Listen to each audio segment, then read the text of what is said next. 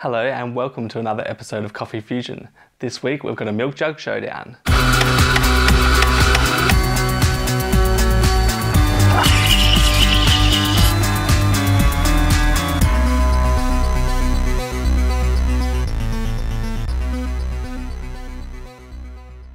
So people are always asking me uh, which milk jug do I like the best or which milk jug am I using in a particular video. And so I thought what I'd do is uh, take a few of my favorite milk jugs, uh, pour a couple of patterns with each, and then we'll have a bit of a look and uh, see which one comes out on top. So I've got four milk jugs here and they're all varying slightly in their spout. So let's have a look at them one at a time. The first milk jug I'm going to pour some patterns with is the uh, Old Faithful Trenton. Um, now, with this milk jug, this is the jug that I use all the time, so probably my patterns are going to be a little bit better with it. This jug has a nice rounded spout at the end, which makes it easier for pouring tulips.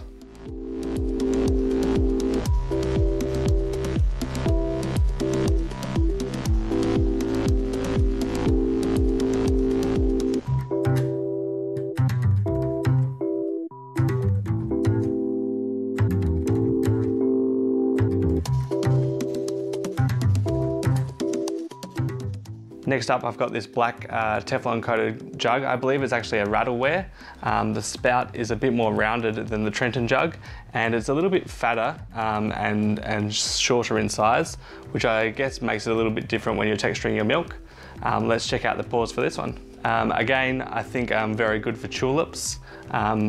Basically what I think, the sharper kind of your spout, the easier it is for those uh, Rosetta style patterns. Um, and then the, the more rounded ones, easier it will be to pour those bulbs.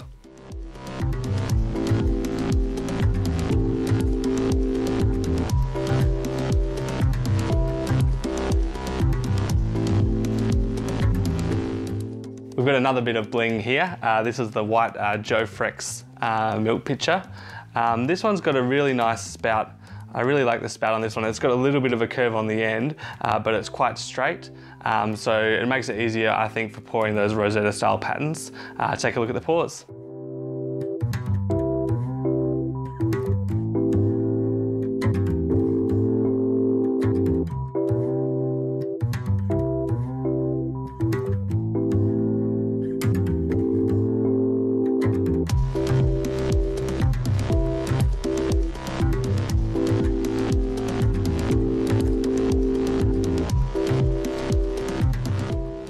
Now last up we've got something a little bit different guys. This is a Rhino Wares jug. Um, I've only had this jug for literally about four or five pours and it's like gun barrel straight. There's no real lip on it at all. Um, check out the pours and just bear in mind that I have only poured with this a couple of times.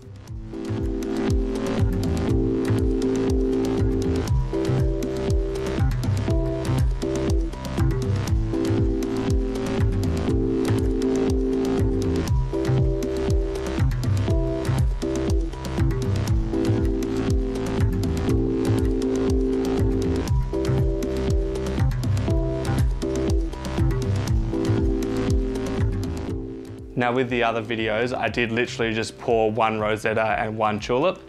Um, with this guy, I did give myself a couple of extra shots um, just because it was the first time I'd ever used it. Um, I'm actually going to do a latte art compilation next week using only this jug so I get a good feel for how it works and uh, how good it is for latte art. And if you've been following my Instagram at The Coffee Fusion, uh, you would have seen that I'm going to trial this guy out. And uh, if he passes the test, he's going to be on my uh, website, uh, coffeefusion.com.au, uh, probably from early next year. So that's a milk jug showdown for you guys. Um, a couple of different styles of spout there.